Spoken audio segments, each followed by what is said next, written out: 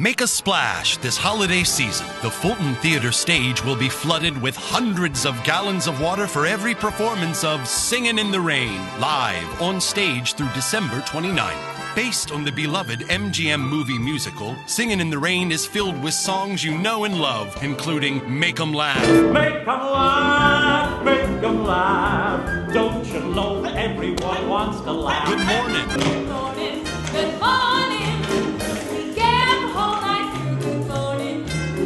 And the unforgettable title song, Singin' in the Rain. Singing in the rain,